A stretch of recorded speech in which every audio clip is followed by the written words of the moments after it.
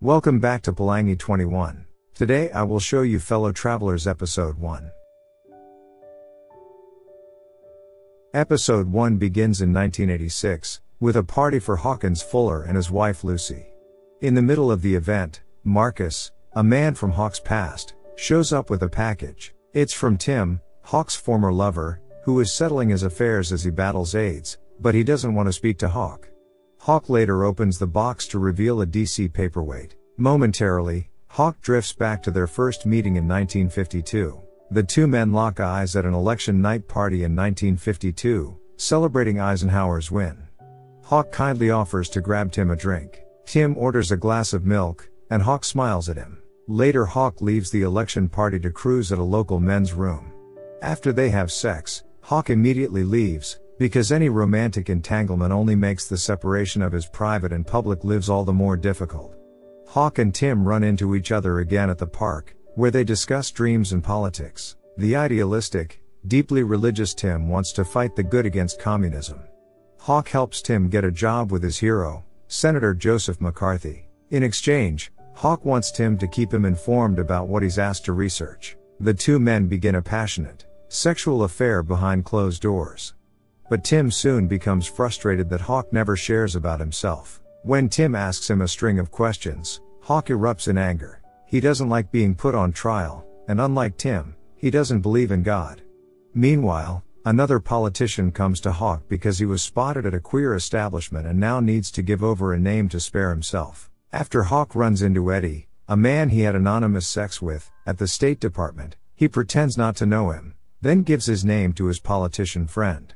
Tim shows up at Hawk's apartment unannounced to discuss something about a developing executive order he overheard in McCarthy's office. Tim sits on Hawk's lap and seduces him with information.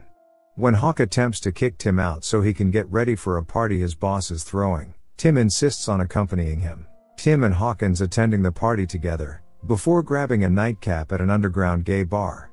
Despite Marcus warning that he and Hawk both prefer sex without emotional engagements, Tim can't help pressing Hawk about what they are. He doesn't care if what he and Hawk are doing is a sin, but the one thing he can't live with is if Hawk is going to marry Senator Smith's daughter Lucy.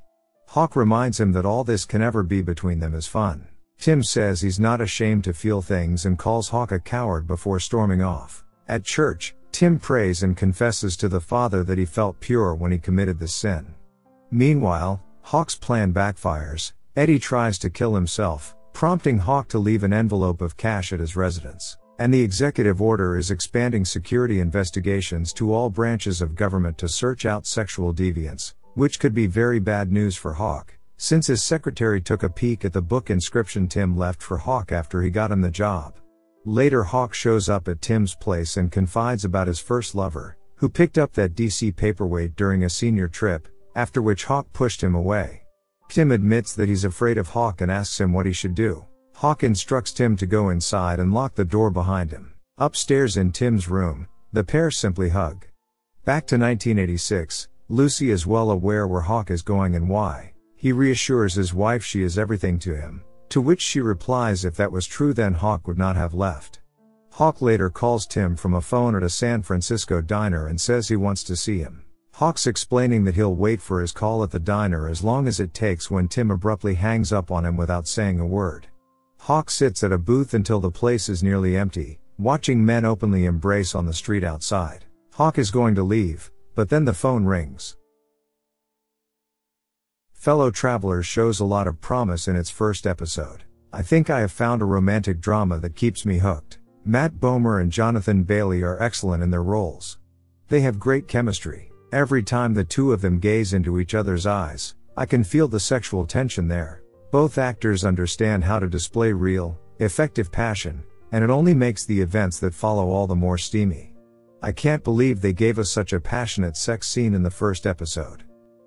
I like how the writers have made sure that the show is not only about the romance brewing between Tim and Hawk, but they create an environment through which we get to know what was happening on the political landscape and how it had an impact on their relationship. Not only that, they succeeded in showing how gay men must be careful living in society during that time. They managed to show a beautiful love story amidst all the tension, resistance and hatred. I can't deny that the show has made a solid start.